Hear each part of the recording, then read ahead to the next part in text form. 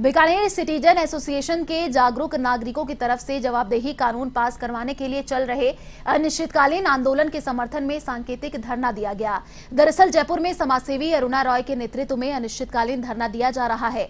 इसके चलते बीकानेर जिला कलेक्ट्रेट के सामने भी जवाबदेहिता कानून पास करवाने के लिए पोस्ट कार्ड अभियान चलाया गया, जिसमें सैकड़ों लोग शामिल हुए। इस कानून को लागू करवाने के लिए जागरूक लोगों से हज़ारों पोस्ट कार्ड मुख्यमंत्री के नाम लिखवाए गए।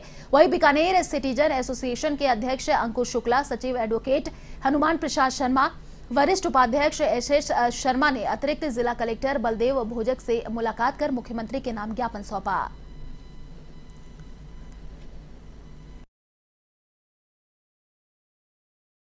हस्ताक्षर अभियान और धरना जारी है। अगर यह कानून राजस्थान में लागू होता है तो बेवजह जो आम नागरिक है राजस्थान के उन्हें दफ्तरों के चक्कर नहीं काटने पड़ेंगे। इसके अंदर अकाउंटेबिलिटी रखी गई है। कर्मचारी और अधिकारी की अकाउंटेबिलिटी हो कोई भी व्यक्ति नागरिक राजस्थान का शिकायत देता है तो उस पर कार्रवाई हो। किसी न किसी तरह की अधिकारी कर्मचारी को नोटिंग करनी पड़ेगी। और अगर वह कार्रवाई नहीं करते तो एक महीने बाद उस स्तर पे एप्लीकेशन दी जाएगी। जा रहा है। हस्ताक्षर अभियान चलाया जा रहा है। हमारे माननीय मुख्यमंत्री जी ने भी अभी हाल ही बजट में जवाबदेही कानून पास करने के लिए प्रस्ताव रखा है।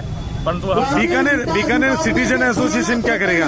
बीकानेर सिटीजन जयपुर के तर्ज पर ही जवाबदेही कानून लगाने के लिए प्रयासरत है। और सरकारी कार्यालयों में जनता को सम्मान मिले मान सम्मान सब मिले और सभी सरकारी कर्मचारी अब तक क्या स्थिति है? अब तक सुबह से अभी तक क्या स्थिति है।